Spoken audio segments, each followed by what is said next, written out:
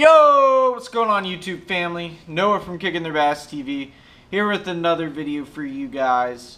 And today is Friday and I'm out with a little recap from Lake Guntersville. I was fishing with LA, um, Laura Ann Fauché, and um, we had a blast guys. We had an absolute blast. We, we were more focused on having fun and um, we never got to fish with each other before so it was our first time so we are like we're just gonna have some fun um, we pre how we started off we pre-fished pre-fished the day before and we actually did pretty well.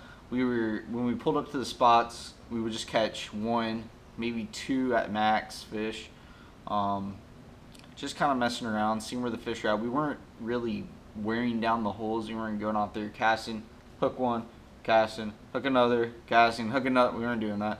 Um, one one and done or um, two confu get out. Um, so yeah that's pretty much what we did. We caught them good in practice. Um, our biggest one was about five pounds. Um, caught the kicking their bass chatterbait and tournament day we had just some small fish um, not too big average size around two pounds. Um, just not the biggest fish. We couldn't get those big bites. And the wind was just crazy. The wind was beating down. And then our power poles I haven't really said much about it. Um, I took a couple pictures.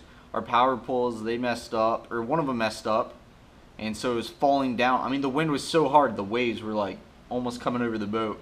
Um, the power poles were just falling down. One side was just falling down in the water, so we had to get so get a rope out. We had to pull to the side. We had to get a rope out. We had to tie the power poles up. It was just a big mess. Then the other one went out, so we had to do the same thing. It was just disaster. And then pre-fishing for another tournament, me and my buddy Weston were going down the road, and we had zip ties around the power poles um, at this point. And we're going down the road. My dad just looks in the mirror. One of the power poles is dragging. So it, the piece that goes into the ground actually went, it grounded down to a nub. I'll show a video overlay right now. It, I mean, it just grinded it all the way down, which kind of sucks because now we have to get that piece for the power pole um, but thank God you can just get the piece and you don't have to buy the whole new power pole. So I'm gonna stop talking about that. It's just a disaster with the power poles. The wind was crazy, um, and but we had some fun. It kind of died down um, as the day moved on. So we got to catch some fish, and we both caught two fish. Um, we only have four fish. We both caught two, so it's a fun time. I still have a little bit of footage. I might go through there and um, try to pick out some stuff, but the camera angles just weren't the best. So but I'll, I'll fool around with it maybe throw out a video for you guys. So let's get to the bait that we're using. Um, there's only one bait, one bait that we caught the fish on, and um, I know you guys are probably like, God, I'm sick of hearing this bait. So every one I'm mentioning it because that's pretty much all we're catching the fish on. It's the kicking their bass wobblehead. Um, guys, I can't, I can't tell you guys how much this bait catches fish. I mean, it's such a productive bait the past three or four tournaments, every tournament, been catching them on this and the fish head spin. And the only reason we didn't use the fish head spin was because we're fishing in nine foot max water. I mean, we're at Lake Guntersville, shallow water fishing. Um, but the wobblehead, guys, this thing was killer. Um, this is in half ounce in green pumpkin, and it has um, the Rage Craw on the back.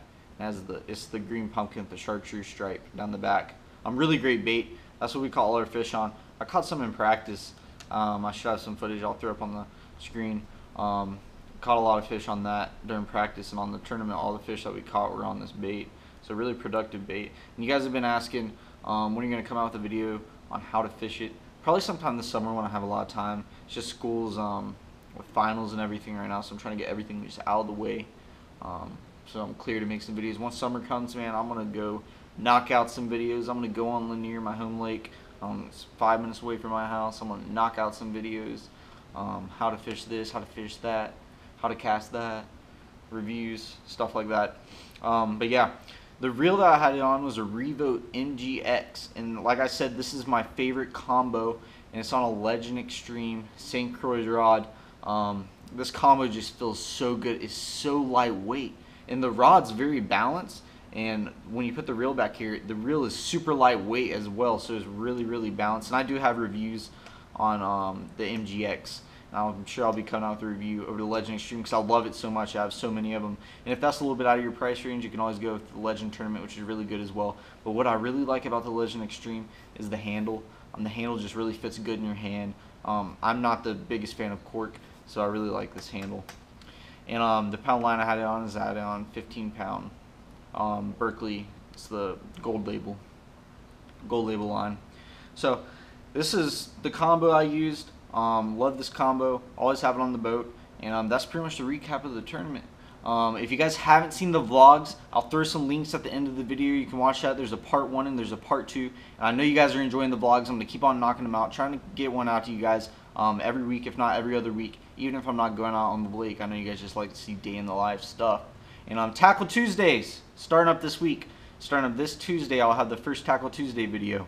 So stay tuned for that. And also, Sunday, question and answer video. I'll be answering all you guys' questions that you left on my Instagram from the post.